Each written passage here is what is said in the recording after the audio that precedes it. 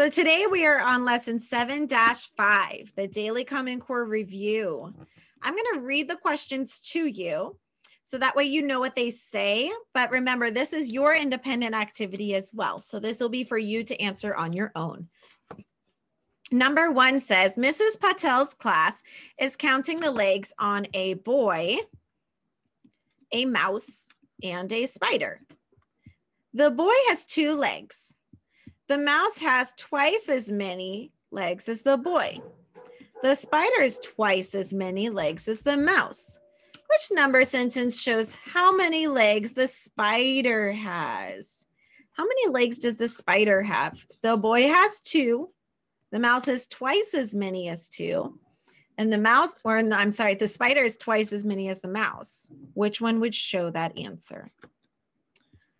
Number two, Tomas has 12 pieces of fruit in a basket.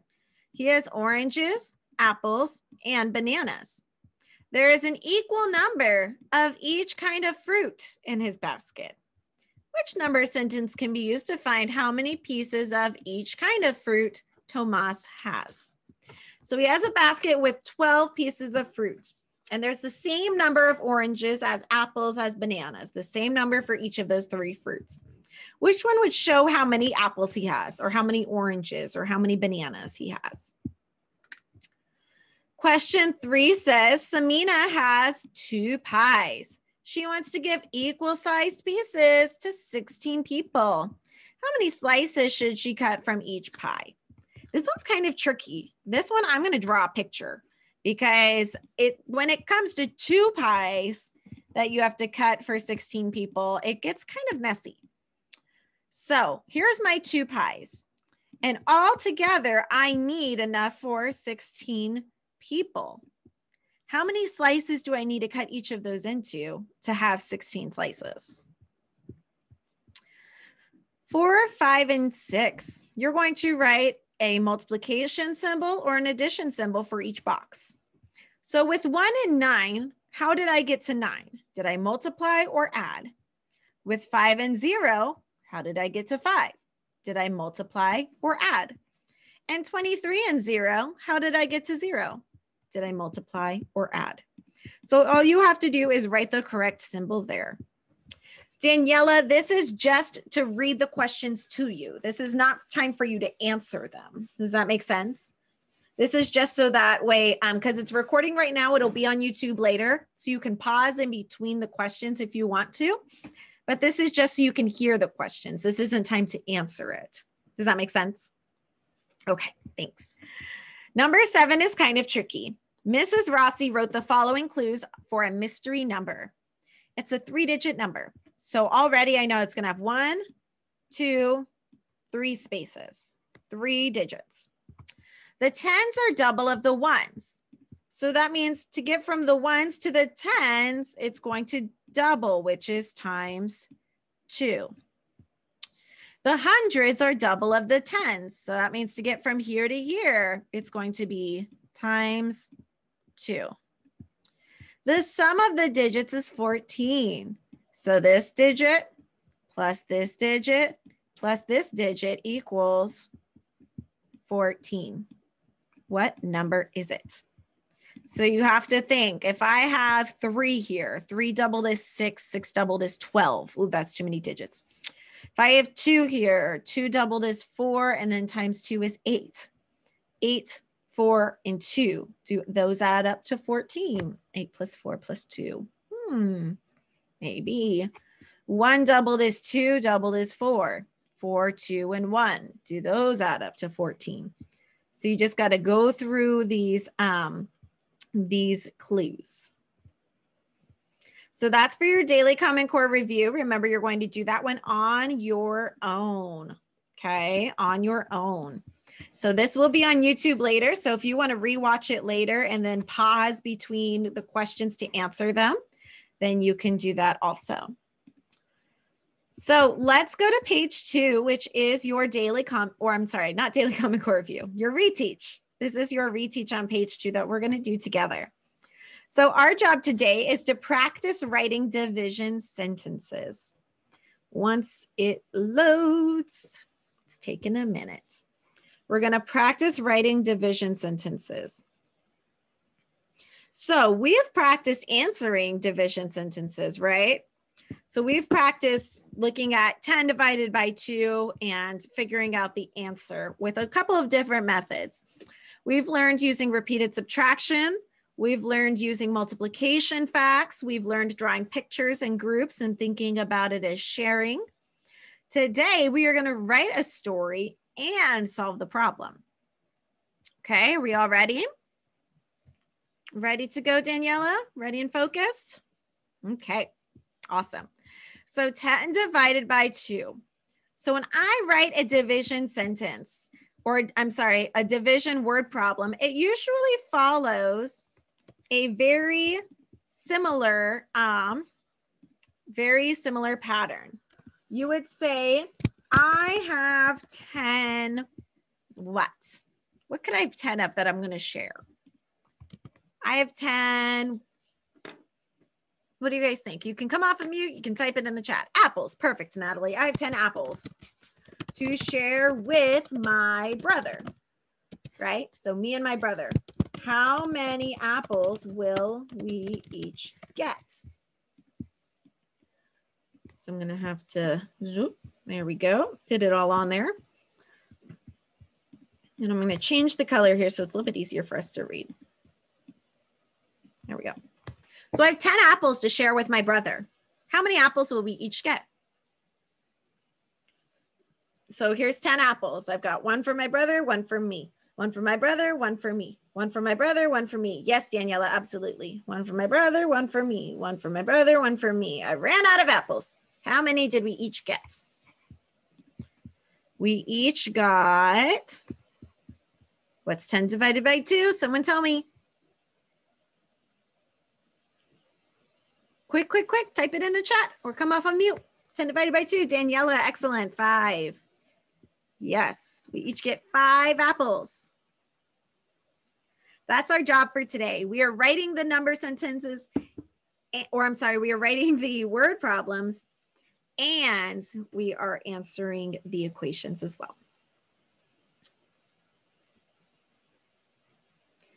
Um, I'm looking, looking, looking for somebody. She's not online. Okay.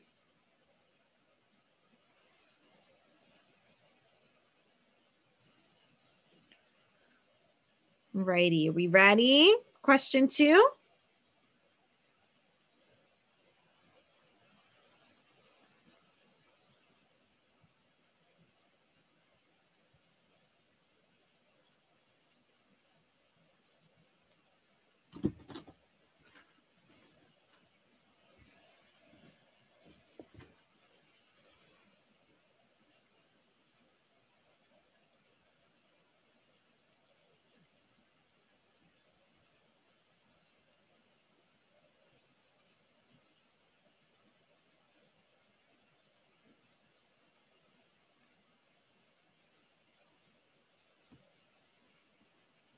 Okay. Question two, 21 divided by three. Same thing. Someone has 21 of something to share with three groups. How many items will each group get? So what could you share? What could you have 21 of that you share?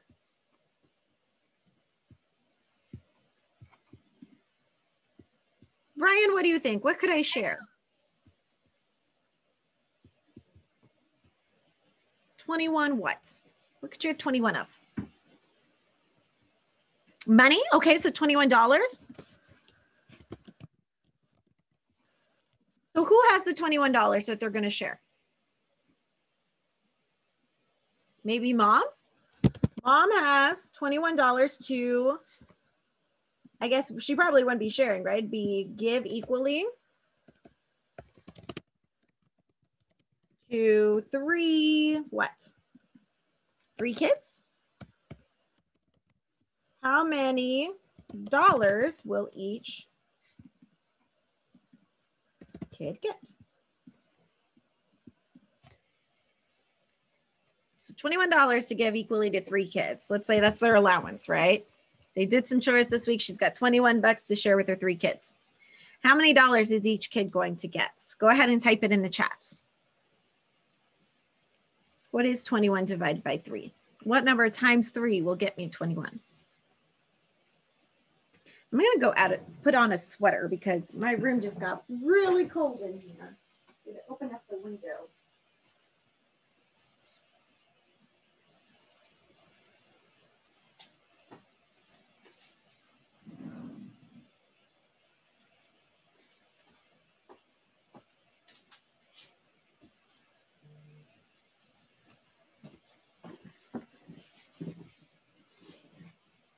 Seven. Absolutely. You guys are rock stars. Very good. Yes. 21 divided by three is seven. Absolutely.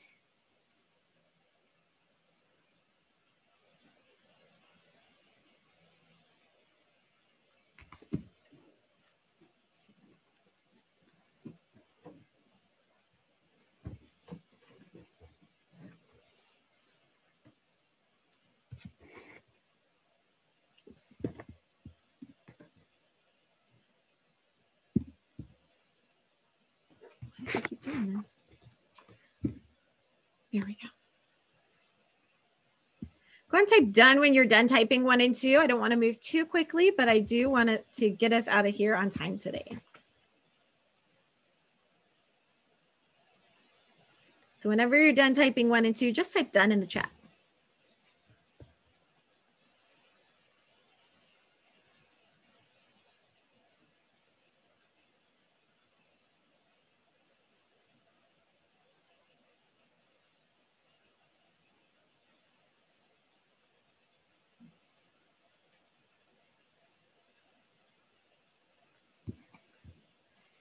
So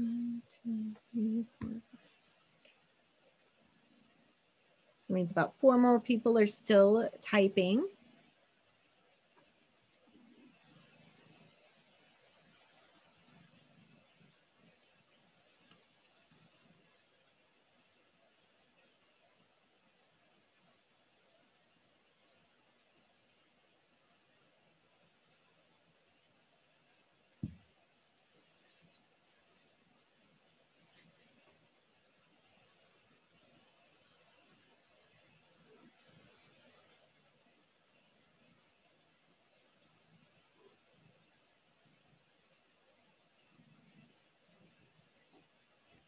Okay, so let's look at number three. And we're going to follow the same pattern.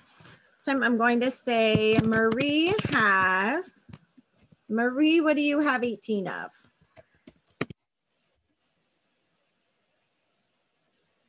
Candy? Perfect. Marie has 18 candies to share with three friends.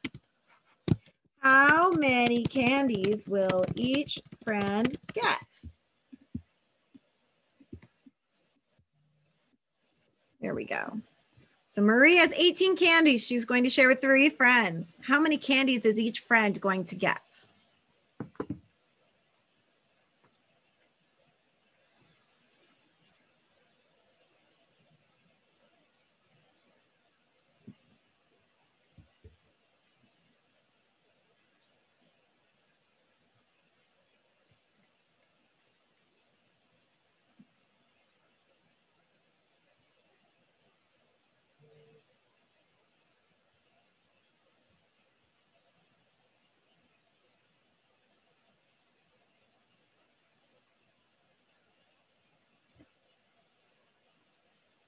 Go ahead and type in the chat. How many do you think each friend is going to get? What is 18 divided by 3? Or what number times 3 will get you 18? Got from three people so far. What number times 3? I know 3 times 7 is 21 because I did that on this problem, right? And 18 is less than 21. So my answer is probably less than 7 do you guys think? Looks like I've gotten it from most of us. Very good. Yes, six. Six times three is 18. So that means 18 divided by three is six. Very good.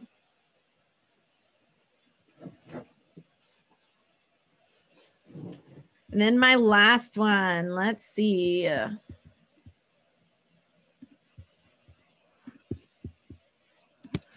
Ignacio has 16 something. Ignacio, what do you have 16 of?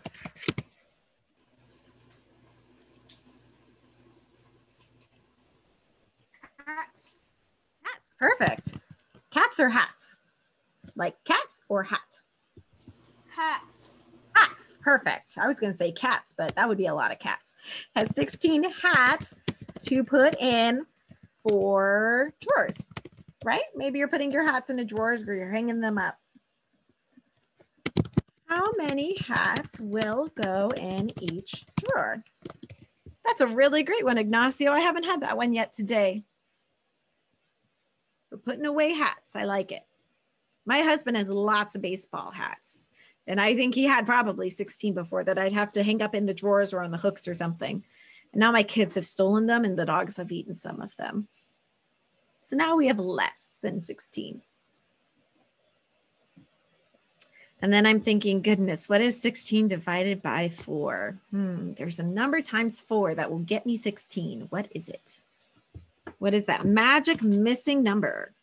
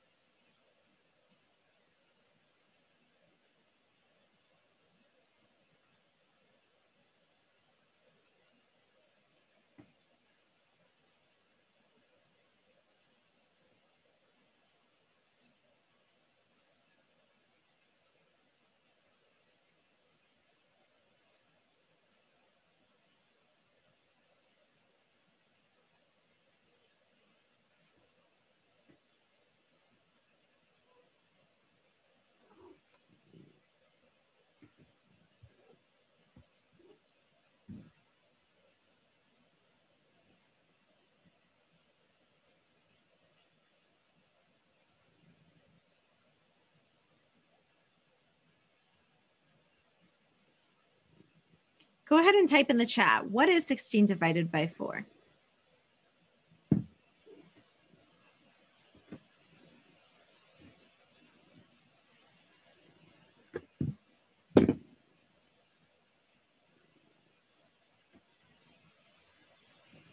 My cat Mackenzie wants to learn math today, apparently.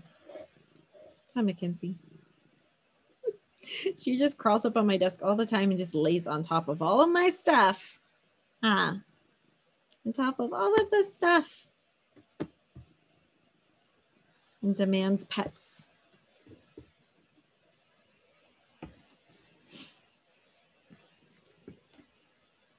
So yes, I see it from a few of us. Yes, 16 divided by 4 is 4, absolutely. Very good. All right, now it's time to explain on question five. Sheila wrote a division story. She asked how many equal groups 24 flowers could be put into. So she has 24 flowers she wants to put in equal groups. What information do we need to her to give about the groups? What are we missing? She's like, okay, guys, I have 24 flowers. I have to put them in equal groups. And we're like, okay, but we're missing something.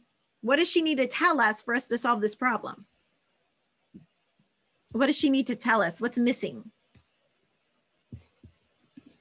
She hands me 24 flowers and says, Quick, I need help. I've got to put these in equal groups for the wedding. And I'm like, Okay, great, I'll help you. But what do I need to know to do that? I need to know how many what? What do I need to know? Daniela, go ahead. How many flowers there is? So there are 24 flowers. It tells me the total, but what do I need to do with those flowers, Daniela? Put them in groups. Mm-hmm. How many groups? Mm, Does she I tell us? know. I don't know, right? Yeah, exactly. She doesn't tell us. So we need to know that. That's absolutely correct. Good job, Daniela. We need to know how many groups to put these flowers in. Ooh, flowers in even know how many groups, right? She just hands us flowers, but we don't know how many groups to put them in.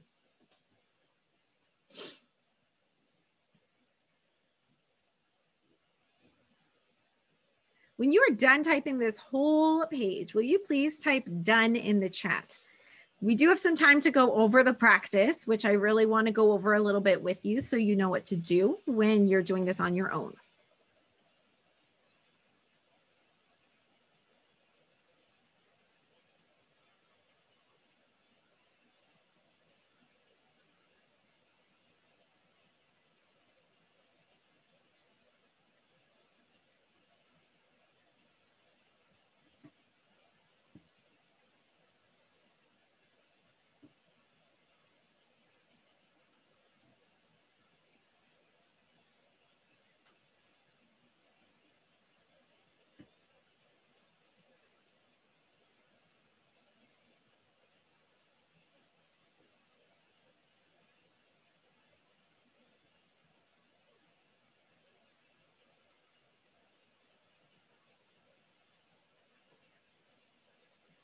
So whenever you finish this page, go ahead and type done in the chat so I know we're ready to move on to page three.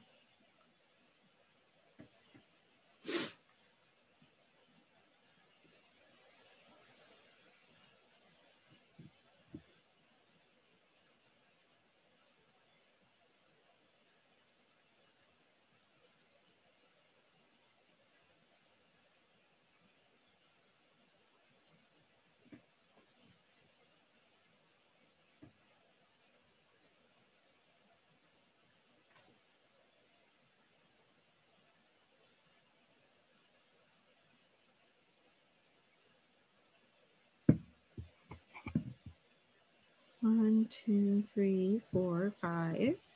So that means there's still about four of us working.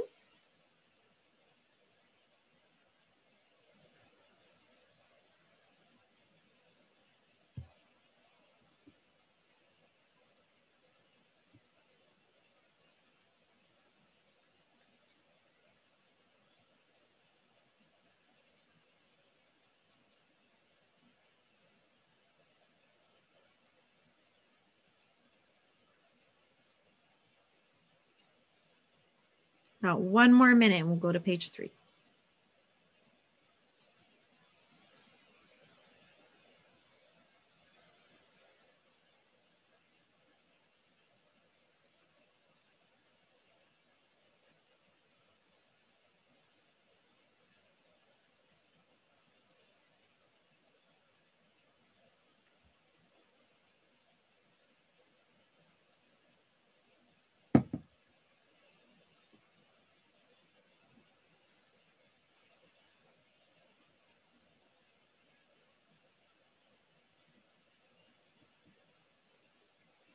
Okay.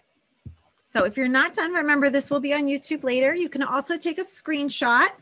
Go ahead and press the control button and the button above the six, and that will give you a picture of your screen. I'll give you five seconds to do that if you want to.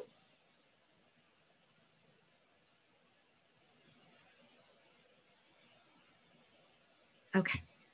Now on page three, when we look at the last few, five, six, and seven, these are three word problems that you solve. So there's 40 relatives and five tables. How many people sit at each table?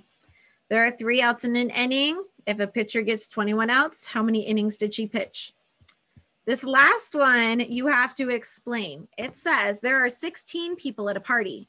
They want to set up a relay team with exactly three people each. So that means three people on a team, three people on a team, three people on a team.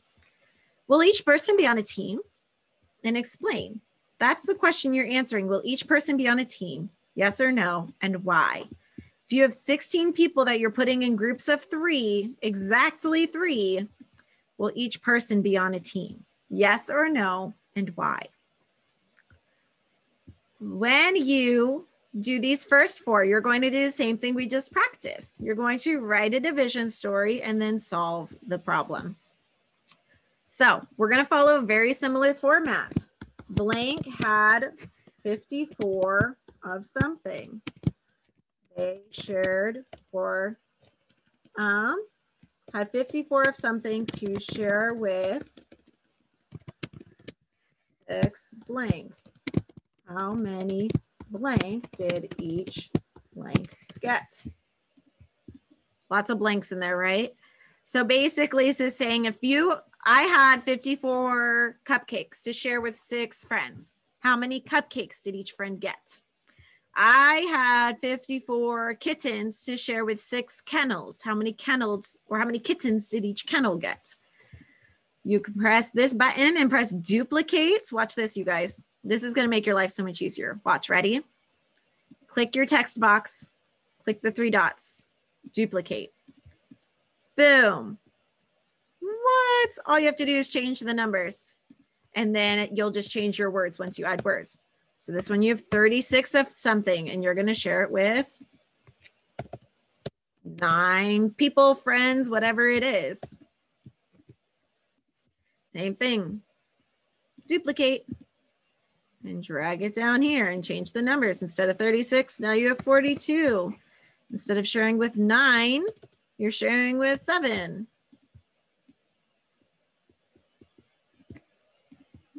Why is this on its own line? And then again, ready? Duplicate. Feel like it's a Harry Potter spell, duplicate, but it's not. It's just a fancy word for copy. So you have 25 in this last one that you're going to share with five people, cats, classes, whatever it is. So I would recommend starting with this because then you can just duplicate and just change the numbers. So you just make the copies and then go in and fill it in. I had 54 pencils to share with six students. My mom had 36 candies to share with my nine cousins. Um, my teacher had 42 pencils to share with seven classes. I had 25 cars to share with five friends. It could be whatever you want. Once you've done this and answered the practice page and the daily Common Core review, then you are done with math for the day. This is our last step. So I'm gonna leave this up for you. That way you can write it down, type it, duplicate it, whatever you need to do. Um, this